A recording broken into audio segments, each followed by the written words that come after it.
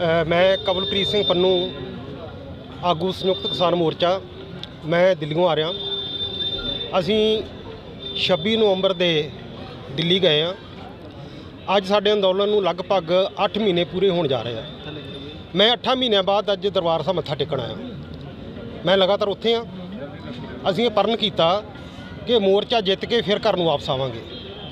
ਅੱਜ ਦਰਬਾਰ ਸਾਹਿਬ ਮੱਥਾ ਟੇਕਣ ਤੋਂ ਬਾਅਦ, ਅਰਦਾਸ ਬੇਨਤੀ ਕਰਨ ਤੋਂ ਬਾਅਦ ਕਿ ਸਾਡੇ ਮੋਰਚੇ ਨੂੰ ਬਲ ਬਖਸ਼ਿਓ, ਮੋਰਚੇ ਨੂੰ ਫਤਿਹ ਬਖਸ਼ਿਓ। ਤੇ ਇਸ ਤੋਂ ਬਾਅਦ ਰਾਮ ਤੀਰਥ ਨੇੜੇ ਝੰਝੋਟੀ ਆ, ਉੱਥੇ ਬਹੁਤ ਵੱਡਾ ਇਕੱਠ ਕਿਸਾਨ ਕਰ ਰਹੇ ਆ। ਹਜ਼ਾਰਾਂ ਦੀ ਗਿਣਤੀ 'ਚ ਕਿਸਾਨ ਇਕੱਠੇ ਹੋ ਰਹੇ ਆ।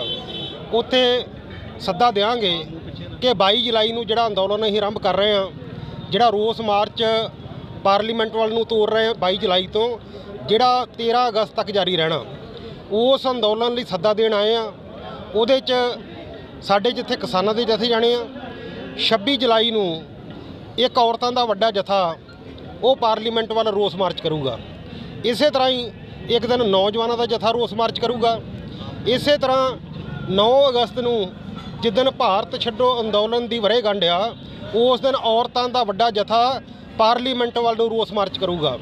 ਤੇ ਅਸੀਂ ਤੁਹਾਡੇ ਮਾਧਿਅਮ ਰਾਹੀਂ ਆਪਣੇ ਕਿਸਾਨਾਂ ਨੂੰ ਅਪੀਲ ਕਰਦੇ ਆ ਕਿ ਹੁਣ ਕੰਮਾਂ ਕਾਰਾਂ ਤੋਂ ਵਿਹਲੇ ਹੋ ਗਏ ਜੇ। ਹੁਣ ਵੱਡੀ ਗਿਣਤੀ 'ਚ ਵੀਰਾਂ ਘੱਤ ਕੇ ਦਿੱਲੀ ਆ ਜਾਓ। ਇੱਕ ਵਾਰੀ ਫੇਰ ਉਸੇ ਤਰ੍ਹਾਂ ਹੀ ਜਿੱਦਾਂ ਜਨਵਰੀ ਦੇ ਵਿੱਚ ਮੋਢੇ ਨਾਲ ਮੋਢਾ ਵੱਜਦਾ ਸੀ ਮੋਢੇ ਨਾਲ ਮੋਢਾ ਮਾਰ ਦਈਏ ਤੇ ਮੋਦੀ ਸਰਕਾਰ ਦਾ ਜਿਹੜਾ ਦਿੱਲੀ ਦੀ ਗੱਦੀ ਨੂੰ ਰਾਹ ਜਾਂਦਾ ਯੂਪੀ ਰਾਹੀਂ ਉਹ ਰਾਹ ਬੰਦ ਕਰ ਦਈਏ। ਅਸੀਂ ਮਿਸ਼ਨ ਯੂਪੀ 26 ਜੁਲਾਈ ਨੂੰ ਆਰੰਭ ਕਰ ਰਹੇ ਹਾਂ ਤੇ ਮੋਦੀ ਨੂੰ ਗੱਦੀ ਤੋਂ ਲਾਹ ਕੇ ਮੋਰਚਾ ਜਿੱਤ ਕੇ ਫਿਰ ਪੰਜਾਬ ਵਾਪਸੀ ਪਾਵਾਂਗੇ। ਤੁਹਾਨੂੰ ਕੀ ਲੱਗਦਾ ਮੋਦੀ ਸਰਕਾਰ ਦਾ ਅੜੀ ਰਵਈਆ ਜਿਹੜਾ ਨਹੀਂ ਮੰਨਿਆ ਜਾ ਰਿਹਾ ਮੋਦੀ ਅਸਲ 'ਚ ਕਾਰਪੋਰੇਟ ਘਰਾਣਿਆਂ ਤੋਂ ਬਹੁਤ ਵੱਡੀ ਰਕਮ ਲੈ ਚੁੱਕਾ। ਹੁਣ ਉਹ ਇਸ ਗੱਲ ਤੇ ਖੜਾ ਕਿ ਸ਼ਾਇਦ ਕਿਸਾਨ ਥੱਕ ਕੇ, ਹਾਰ ਕੇ, ਹੰਬ ਕੇ ਚਲੇ ਜਾਣਗੇ, ਪਰ ਉਹਨੂੰ ਦੱਸਣਾ ਚਾਹੁੰਦੇ ਆ ਕਿ ਅਸੀਂ ਉਸ ਵਿਰਾਸਤ ਦੇ ਮਾਲਕ ਹਾਂ।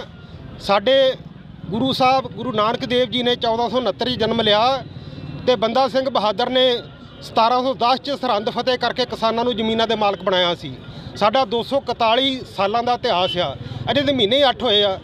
ਅਸੀਂ 24 ਤੱਕ ਬਹਿਣ ਨੂੰ ਤਿਆਰ ਆ ਤੇ ਮੋਦੀ ਦੇ ਗਲ 'ਚ ਝੋਲਾ ਪਾ ਕੇ ਕੁਰਸੀ ਤੋਂ ਲਾਹ ਕੇ ਘਰ ਨੂੰ ਤੋਰ ਕੇ ਵਾਪਸ ਆਵਾਂਗੇ। 2024 ਤੇ ਲੱਗਦਾ ਨਹੀਂ ਮੋਦੀ ਸਰਕਾਰ ਨੂੰ ਜਾਣਦੇ ਪੂਰੀ ਯਤਨ ਕੀਤੇ ਜਾਣਗੇ ਜੀ?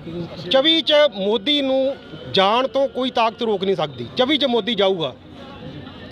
ਕਿਸਾਨ ਮਜ਼ਦੂਰ ਏਕਤਾ ਕਿਸਾਨ ਜਿਹੜੇ ਸ਼ਹੀਦ ਹੋ ਗਏ ਨੇ ਉਹਨਾਂ ਬਾਰੇ ਕੀ ਕਹਿਣਾ ਚਾਹੁੰਦੇ ਜਿਵੇਂ ਮੋਦੀ ਦਾ ਰਵਈਆ ਤਾਂ ਵੀ ਨਹੀਂ ਬਦਲਿਆ ਸਾਢੇ ਪੰਜ ਸੌ ਦੇ ਲਾਗੇ ਬੰਨੇ ਕਿਸਾਨ ਸ਼ਹੀਦ ਹੋ ਚੁੱਕੇ ਆ। ਪਰ ਸਾਨੂੰ ਇਸ ਗੱਲ ਦੀ ਕੋਈ ਪਰਵਾਹ ਨਹੀਂ। ਕਿਉਂਕਿ ਜੰਗਾਂ ਯੁੱਧਾਂ 'ਚ ਸ਼ਹੀਦੀਆਂ ਪਹਿਲੋਂ ਆ। ਇਸ ਕਰਕੇ ਸਾਡੀਆਂ ਲਾਈਨਾਂ ਲੱਗੀਆਂ, ਸ਼ਹੀਦੀਆਂ ਹੋਰ ਹੋਣਗੀਆਂ। ਪਰ ਇਹ ਸ਼ਹੀਦੀਆਂ ਮੋਦੀ ਦੇ ਕਫਨ 'ਚ ਕਿੱਲ ਹੋਣਗੀਆਂ, ਮੋਦੀ ਨੂੰ ਹਰਾ ਕੇ ਵਾਪਸ ਆਵਾਂਗੇ।